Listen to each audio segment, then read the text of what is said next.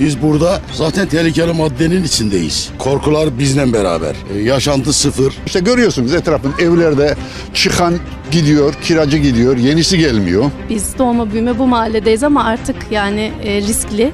risk alan dediler. 2016'da risk alanına döndürmüştü dediler. E, devlet de kalkacak deyince mutlaka kalkacakmış yani.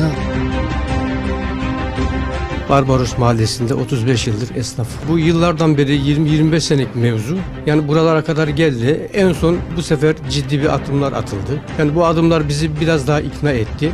Artık e, bizi buradan kaldıracaklar. Çünkü burayı riskli bölge ilan ettiler. Kentsel dönüşüme soktular. Artık istiyoruz zaten istiyorduk. Fabrikalar çok yakın. O yüzden artık kalkmak istiyoruz. Ben 77 yaşındayım. Bu zamana kadar çok iktidarları gördük biz. Gelen iktidarlar Tayyip kadar çalışsaydılar Türkiye Avrupa'yı geçmiş idi. Burada sosyal yaşantı sıfır ama orada en azından emniyette otururuz. Yani evimiz barkımız da yeni olmuş olur.